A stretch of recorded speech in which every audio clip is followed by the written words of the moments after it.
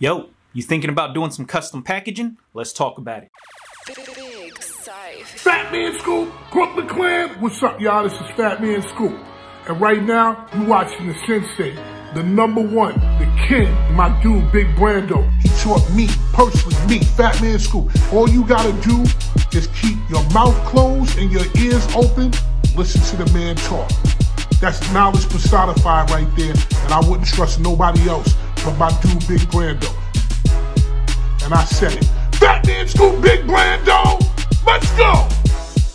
What's happening, everybody? Boy Big Brandoh, and today let's talk about custom packaging. This is a question I always get. People always want to know, is it beneficial to use custom packaging? Should they invest in custom packaging? Now, a lot of times why people ask this question is because a lot of their favorite brands use custom packaging. They understand brand identity, they understand the customer experience, and they want to set themselves aside from the rest of the brands out here just using plain poly mailers. So for the sake of this video, I want to show you guys something. This is what the Marathon Clothing Company's packaging looks like when you order one of their All Money In t-shirts. It comes in a box that looks like this. Focus in, proud to pay. There goes the Marathon flag. Proud to pay. Marathon flag. All Money In logo on the top of the box. So before I get into opening up this box, kind of want to explain what's going on here. So first things first is I support everything Los Angeles, especially if a brand is doing a lot for the city. I love to support things that come from the city. As you can see, I'm wearing a born and raised t-shirt right here. They're straight out of Los Angeles, Venice Beach to be exact. And you guys know I've been a big supporter of Nipsey and everything that he did for the city and everything his brother and family continue to do for the city. Now, I know a lot of YouTube people out there that are in the t-shirt space are always wearing their own t-shirts, their own hats, their own merch and all that that stuff. If you guys know me, you know I wear whatever I want, especially for the stuff that I actually support. When you guys see me wearing brands from Hawaii, when you guys see me wearing Born and Raised, when you guys see me wearing any other brand, it's because I genuinely support these other brands and I like wearing the stuff. So there's no exception. Now, the reason I'm making this video is because I wanted to show how dope the packaging is when you order something from them. They just re-released the All Money In t-shirt and I needed to get another one because mine is all faded and old and I wanted a new fresh one. And I wanted to re-up on the Crenshaw t-shirts. So I wanna open this up. I'm gonna take the camera, bring it to the other room, set it all up, try to get a bird's eye view so you can see exactly what's inside here, how they package everything up, and how they deliver the stuff to you. So let's go check it out. All right, so check it out. This is what I want to show you guys. This box right here. All money in. This is what the packaging looks like. Proud to pay. Proud to pay. the Marathon Clothing flag on there. It's kind of like a spot varnish. And you got the logo on top. So as we open this thing up, 10% off discount code. T-shirts are inside of here in these like Ziploc bags. So we got the classic all money in t-shirt, hang tag,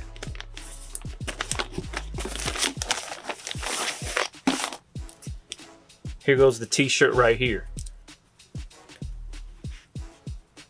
There's labeling on the inside. Hang tag.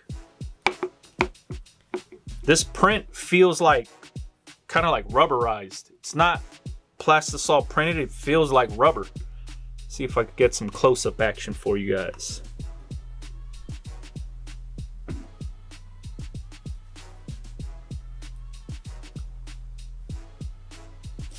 all money in. Back of the t-shirt.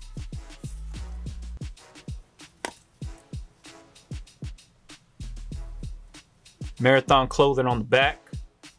Same exact thing, that like rubberized feeling. Marathon flag on the sleeve. Sewn in.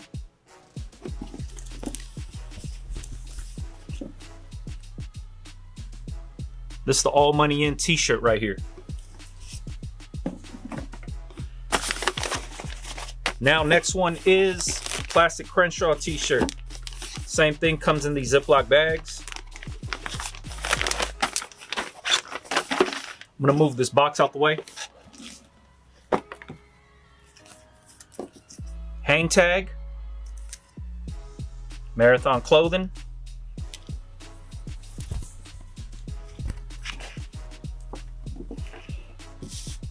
This feels like plastisol print. This blank t-shirt, I'm not 100% sure what blank they're using. Feels heavy, doesn't feel lightweight whatsoever. Marathon woven tag on the bottom of the t-shirt on the hem. Here goes what the inside tag looks like. Let's see if I can get that in focus.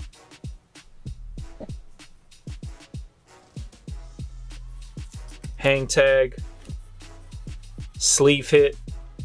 Once again, woven tag on the sleeve.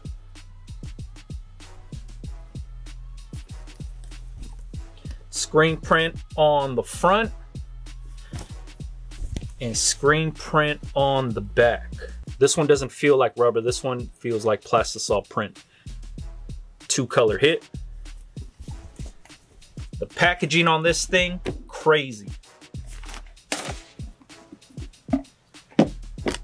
Here goes the all money in shirt. Once again with that rubberized texture. Not exactly sure what it is. Feels like rubber though. Let's see if I get some side view action. It's on the front and then on the back. This is also that rubberized material.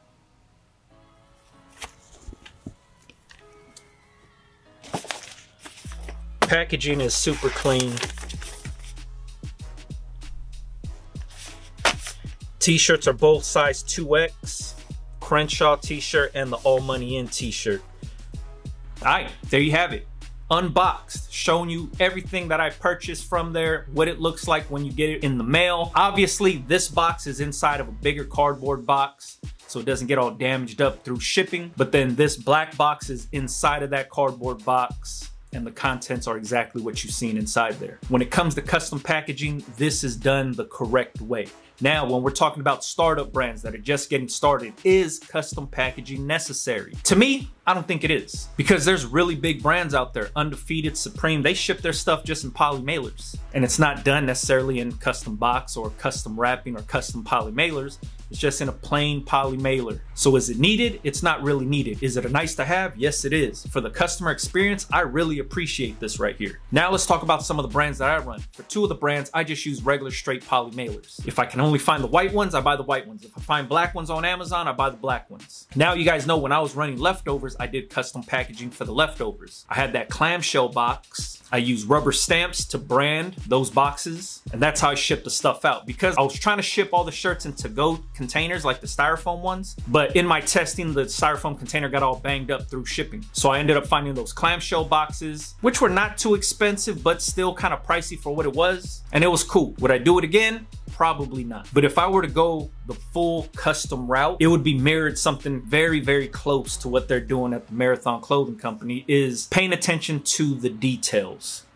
That spot varnish little flag, clean touch. The branding is minimal, but very, very clean. That box is very sturdy. They're doing it right. So as a startup, I wouldn't really, really focus too much on that. You could get custom poly mailers done. I think you could order them by like the 500 or 1000 and you could get them custom printed. That's a simple Google search of custom poly mailers and a bunch of stuff will pop up for you. You could go the cheap route. What I used to do is get a rubber stamp made. You could get like a big three by five rubber stamp made and then just boom, with your logo on it, stamp the box, stamp the poly mailer. Then you got custom packaging. Or when I was running the churro brand, what I was doing was just slapping the churro sticker on the box or on the poly mailer. Gives it that extra touch. You don't have to go full custom like this, but as your business grows, then you can entertain ideas like this. But when you're just starting out, you don't gotta go that hard. Obviously, you want the customer experience to be something very special, and I get that. But at the end of the day, you gotta remember the people are paying for the product and not for the packaging. So if somebody's seen your t-shirt on Instagram and they wanted to buy it,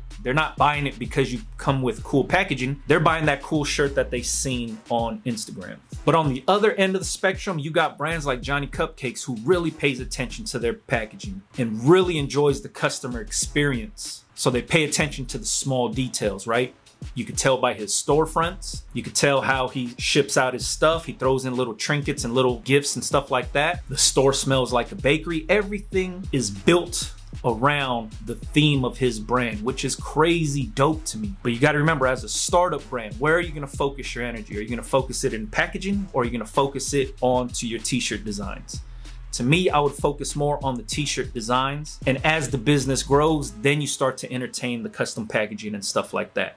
Out the gate, a lot of people want to do everything all at once. And to me, when you spread yourself thin, everything doesn't get the right amount of energy that it needs. So if you're thinking about custom packaging, I wanted to show an example of what an established brand's custom packaging looks like. But for a startup, do whatever fits your budget. If you have to buy poly mailers on Amazon, that's where I buy mine from. You could get like a hundred for like nine bucks or something like that. Easy call. And if you got plain black ones, get some stickers made and just slap the stickers on there. If you get the white ones, get a rubber stamp stamp that poly mailer or use stickers also. It'll be custom enough for now. And like I said, as the business grows, then you start to entertain custom packaging and exploring those options, all right? Hopefully this video helps somebody out. Hopefully if nobody's ever unboxed something like this on YouTube, hopefully this shines some light on it. And if you've been sleep under a rock, check out the Marathon Clothing Instagram page, storefront, whatever you wanted to do check out the merch and support. For myself, I will always support what Nipsey started to build. I've been buying his Crenshaw t-shirts before they had the Marathon store, when it was just the other store when they were selling blank pro clubs out of there. Always have, always will support Los Angeles-based brands, especially when they're doing good stuff for the city, all right? If you guys got any questions, make sure you leave it in the comments. Follow me on Instagram, Big Brandoh TV. Catch you guys on the next one, man. Yeah.